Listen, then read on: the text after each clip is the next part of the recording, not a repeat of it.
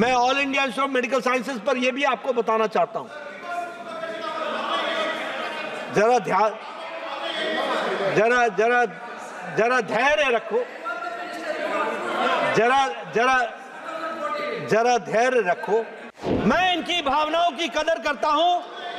इनको भी इतनी शालीनता होनी चाहिए कि नरेंद्र मोदी जी द्वारा किए गए कार्यों की भावनाओं की भी कदर करें, इसकी इनको चिंता करनी चाहिए। ये डिबेट हो रही है या मुझे बोलने का मौका दिया जाएगा? मुझे बोलने का मौका दिया जाएगा? ये ये डिबेट है। जब हम आयुष्मान भारत डिजिटल मिशन कहते हैं तो उसकी चार रजिस्ट्रीज हैं।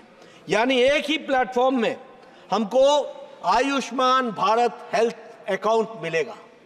यानी हर पेशेंट का, हर व्यक्ति का उसका अकाउंट उसका मेडिकल हिस्ट्री उसके मेडिकल और उसकी पूरी की पूरी सीक्रेसी उसकी पूरी की पूरी confidentiality that is also maintained और वह एक ही प्लेटफॉर्म पर मिलेगा। उसी तरीके से हेल्थ केयर के जितने भी प्रोफेशनल्स हैं, वह भी एक ही प्लेटफॉर्म पर रजिस्ट्री में मिलेंगे। और उसी तरीके से हेल्थ ड्रग्स के भी, यानी जितने भी केमिस्ट की फैसिलिटीज़ हैं, वह भी एक ही फैसिलिटी के तहत मिलेंगे। और हमारे जो हेल्थ के फैसिलिटीज़ हैं, यानी हमारे इंस्टीट्यूशंस हैं वह अभी एक ही फैसिलिटी में मिलेंगे। यानी एबीडीएम के चार रजिस्ट्रीज होंगे और उसके तीन गेटवेज होंगे। मैंने पहले भी एक प्रश्न में बताया था। एक होगा नेशनल क्लेम एक्सचेंज एनसीएक्स दूसरा यूनिफाइड हेल्थ इंटरफेस और तीसरा जो है वो कंपनसेशन देने के लिए उसके लिए कंसेंट मैनेजर ये तीन गेटवेज के तहत इस कार्यक्रम को आगे बढ़ाया जाएगा। मैं यहाँ यह भी बताना चाहता हूँ सभापति महोदय जी और आपके माध्यम से कि हमारा पीएम भीम प्रधानमंत्री आयुष्मान भीम योजना भारत हेल्थ इंफ्रास्ट्रक्चर मिशन इसके तहत भी हमारे लॉजिस्टिक्स हेल्थ के इंफ्रास्ट्रक्चर को बहुत तीव्र गति दी जा रही है और उसको ताकत देने का काम आ, हेल्थ सेक्टर में किया जा रहा है ये भी मैं बताना चाहता हूँ। जो दूसरे इनिशिएटिव्स हैं। उन इनिशिएटिव्स की बात करें तो एनएचएम में हम सभी प्रदेशों को टेक्निकल और फाइनेंशियल सपोर्ट हम देते हैं। और वो टेक्निकल और फाइनेंशियल सपोर्ट के माध्यम से जो हमारे सब सेंटर्स हैं, जो हमारे आयुष्मान आरोग्य मंदिर हैं, जो हमारे पीएचसीज हैं, जो हमारे सीएचसीज हैं, जो हमारे डिस्ट्रिक्ट हॉस्पिटल्स हैं इन सबको फाइनेंशियल और टेक्निकल सपोर्ट देने का काम हम ये नेशनल हेल्थ पॉलिसी के तहत एनएचएम के तहत हम कर रहे हैं, ये भी मैं बताना चाहता हूँ। एक बात टर्शरी हेल्थ केयर में मैं ज़रूर बताना चाहता हूँ, जिसमें एक बहुत लंबी छलांग टर्शरी हेल्थ केयर में लगाई गई है। वह मैं कहना चाहता हूँ और मैं इस सदन के माध्यम से देश की जनता को भी बताना चाहता हूँ कि जब जब एनडीए की सरकार आई है हम लोगों ने टर्शरी हेल्थ केयर को भी जहाँ पूरी ताकत दी है, वहीं हम लोगों ने प्राइमरी हेल्थ केयर को भी पूरी ताकत दी है यह भी मैं बताना चाहता हूँ। जब एनडीए की पहली सरकार आई, उसके पहले एक एम्स होता था all India institute of medical sciences जब अटल जी की सरकार आई तो छह साल के अंदर छह नए all India institute of medical sciences खुले। और आज मुझे खुशी होती है ये बताते हुए कि प्रधानमंत्री मोदी जी के नेतृत्व में आज 22 all India institute of medical sciences इनको अप्रूवल दी गई है। 18 ऑपरेशनल है और चार अंडर कंस्ट्रक्शन है। इस तरीके से all India institute of medical sciences का काम चल रहा है। मैं all India institute of medical sciences पर यह भी आपको बताना चाहता हूँ।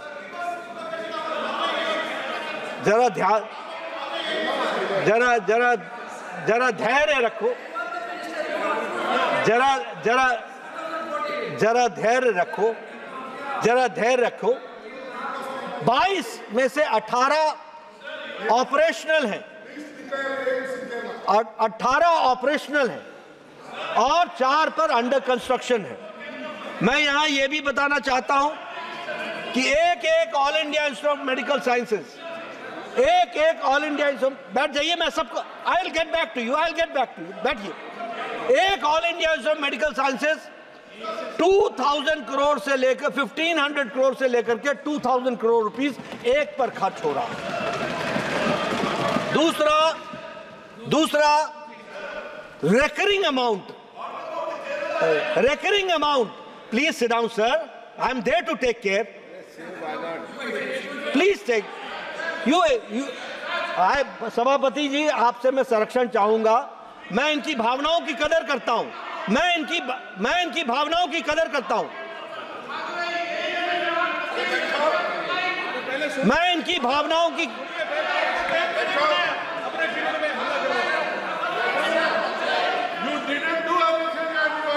मैं इनकी भावनाओं की कदर करता हूँ। मैं इनकी भावनाओं की कदर करता हूँ। इनको भी इतनी शालीनता होनी चाहिए कि नरेंद्र मोदी जी द्वारा किए गए कार्यों की भावनाओं की भी कदर करें, इसकी इनको चिंता करनी चाहिए। अब मैं अपग्रेडेशन ऑफ़ मेडिकल कॉलेजेस की बात करना चाहता हूँ। मैं जब अपग्रेडेशन ऑफ़ मेडिकल कॉलेजेस की बात करता हूँ तो 157 157 मेडिकल कॉलेजेस आउट मंत्री जी, एक मिनट, एक मान्य सदस्य, एक मिनट एक मिनट नो मान्य सदस्यगण, इस विषय पर डिबेट पर सभी मान्य सदस्यों को पर्याप्त समय पर्याप्त समय भी दिया था और जो मान्य सदस्य नहीं बोल पाए, उनको भी पर्याप्त समय दिया। अब हम सदन में गरिमा रखें, जब आपने कोई मुद्दे उठाएँ माननीय मंत्री जी उन मुद्दों का जवाब देंगे बीच में नहीं। माननीय मंत्री जी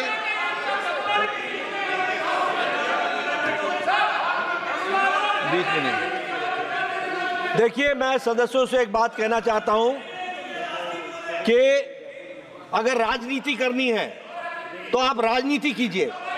अगर सच्चाई सुननी है तो मैं पूरी ईमानदारी से सारी बातें आपको बता रहा हूँ, जिसको आपको सुनना पड़ेगा।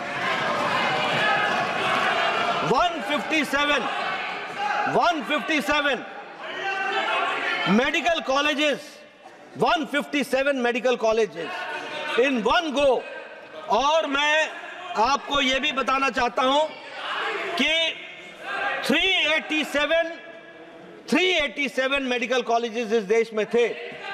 और आज 731 मेडिकल कॉलेजेस हैं।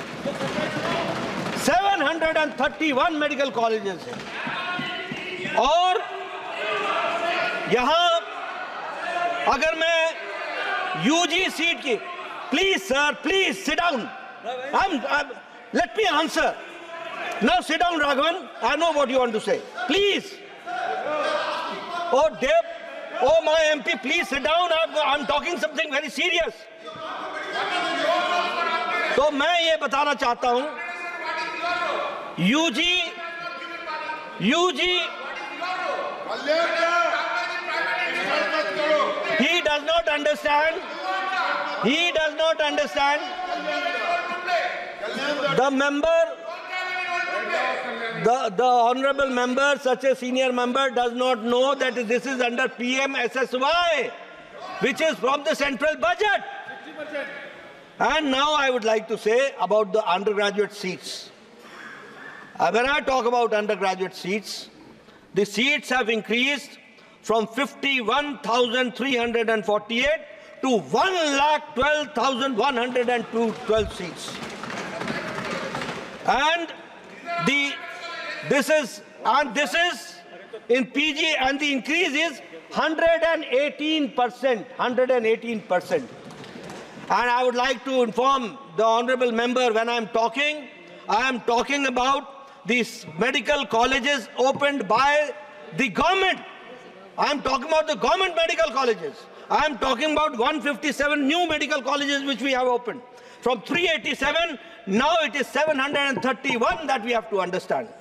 And when I talk about the PG seats, it is from 133%, which is 31,185 seats, to from, from 72,000 72,627 seats. Friends, Friends, friends,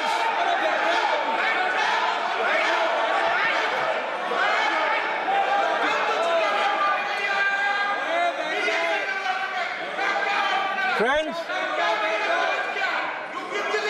and the strengthening, the strengthening of the health infrastructure, the strengthening of the and the strengthening of the health infrastructure. अब उसमें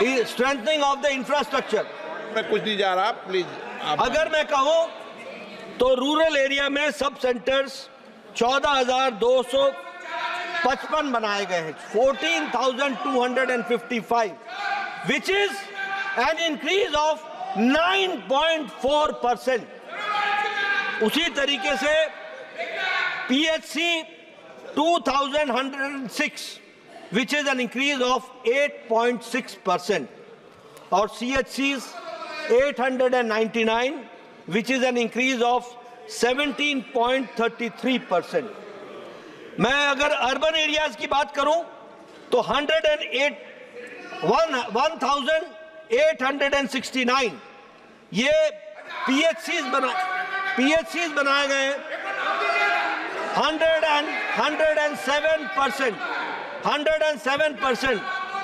CHCs 233 percent. मैं इनको list भिजवा दूँगा। I will send you the list mister Kalyan Banerjee no please sit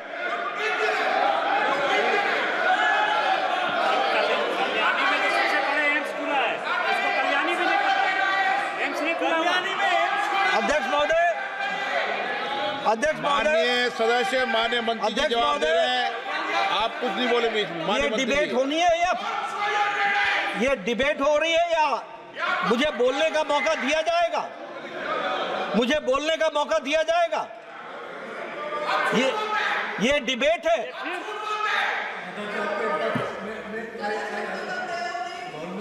no मैंने मंत्री जी इनको allow नहीं किया। आप तो बोलिए। मैं जब अलाउ करूँ जब होगा ना मैं माननीय मंत्री जी।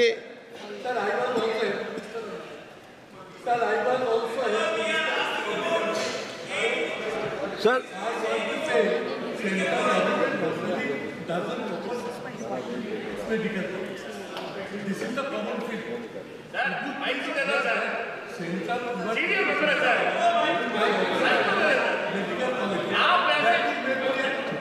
ठीक।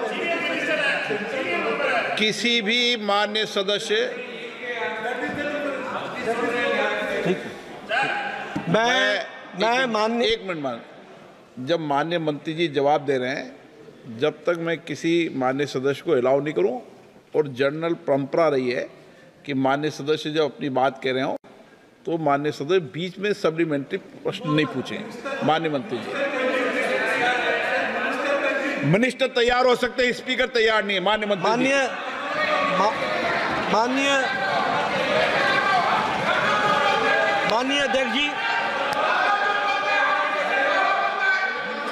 ये अगर मैं बताऊँ, मुझे मुझे मुझे सदस्य को ये बताना है कि प्रधानमंत्री पीएमएसएसवाई में स्वास्थ्य के योजना में जो मेडिकल कॉलेजेस खोले गए हैं, वो केंद्र के नोटिफिकेशन से खोले गए हैं और केंद्र ने खोले हैं। और सेंट्रल कैबिनेट ने उसको अप्रूवल दिया है।